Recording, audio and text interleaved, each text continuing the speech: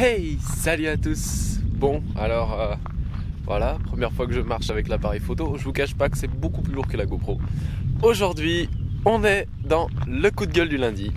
C'est parti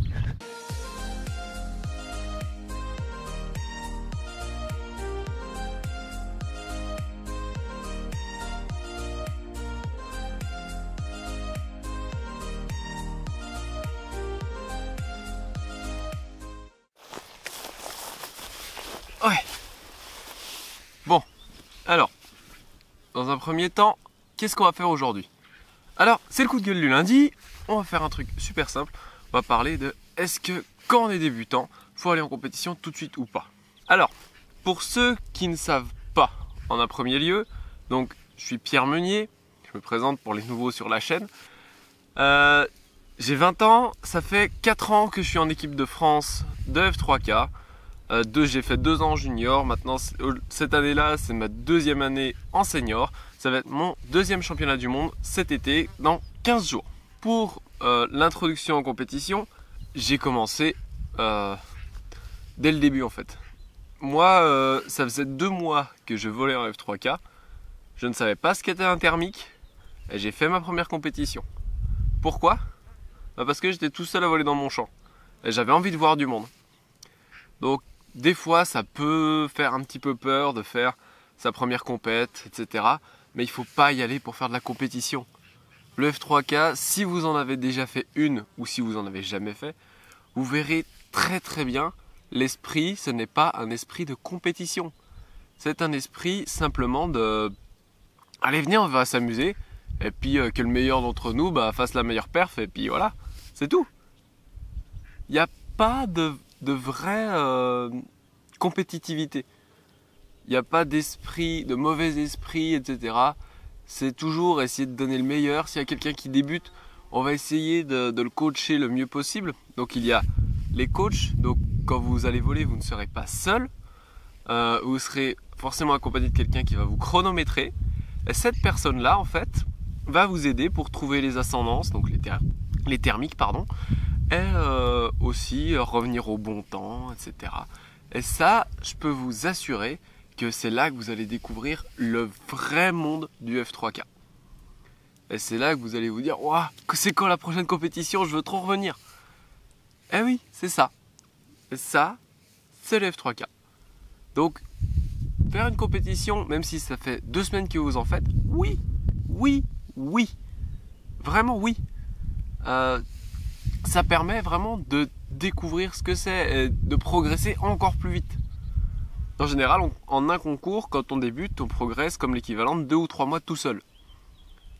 En un week-end. Pourquoi? Parce que on a le regard des autres, on a les astuces des autres, etc. Toutes les choses qu'on n'arriverait pas forcément à découvrir soi-même.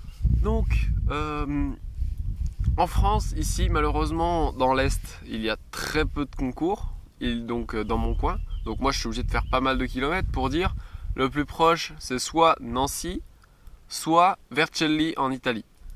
Voilà, les deux concours les plus proches qui sont en, environ 3h30 de route. Voilà, ça c'est les deux concours les plus proches. Donc c'est pas des régionaux, c'est des Eurotours et des World Cup. Donc moi je suis un petit peu coincé, mais si vous habitez dans le sud, dans le nord ou dans, ou dans l'ouest, c'est très très très actif en Bretagne en Bretagne, je leur dis franchement un grand bravo. Vers Le Mans aussi, à Cholet aussi, euh, à Montpellier, il y a beaucoup de monde. Donc bravo à toutes ces équipes qui ont réussi à, vraiment euh, mettre le F3K en avant dans ces régions.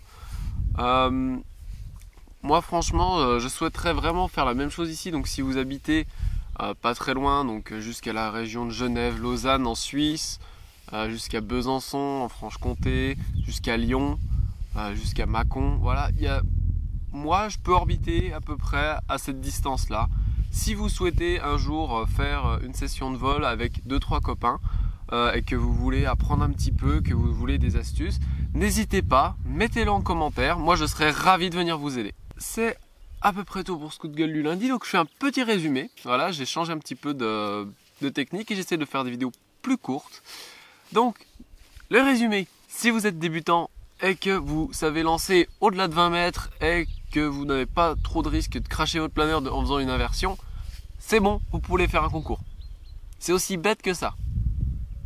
Dès que vous savez un petit peu piloter, suffisamment pour pas cracher votre, votre planeur, et que vous savez lancer, donc c'est-à-dire savoir lancer, c'est-à-dire savoir mettre le planeur en l'air, ça veut pas dire lancer à 50 mètres. Hein. Là, vous êtes apte à aller en concours et aller prendre du plaisir avec tout le monde. Et même si vous avez jamais fait de planeur, même si vous êtes avec un elfe, même si vous êtes avec une libelle, peu importe, allez faire des concours.